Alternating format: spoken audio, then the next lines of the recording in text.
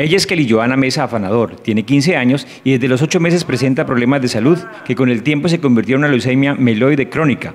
Hoy, desde su casa, hace un llamado para que la Superintendencia de Salud garantice el normal tratamiento, pues su EPS Salud Vida fue intervenida y pronto dejará de atenderla y no sabe cómo será la atención en otra EPS. Yo solo le pido a la Superintendencia de Salud que pues vele por mis derechos, que es tener un servicio de salud.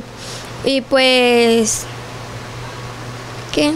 Que continúe con mi tratamiento y con todo lo que yo necesito en el momento.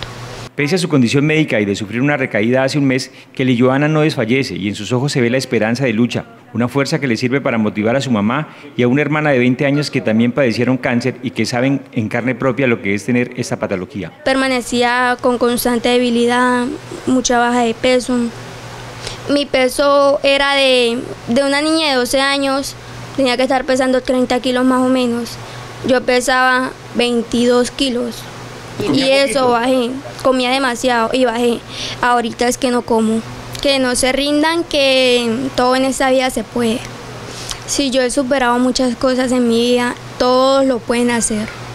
Y pues, ¿qué? Si quieren salir adelante, que lo hagan, que ellos puedan. Kelly Joana envía un mensaje a los jóvenes que quizás tengan alguna enfermedad o problema para que no se rindan y sueñen como ella, que imagina llegar a ser médica, quizás para enfrentar el cáncer en otras esferas fuera de su cuerpo.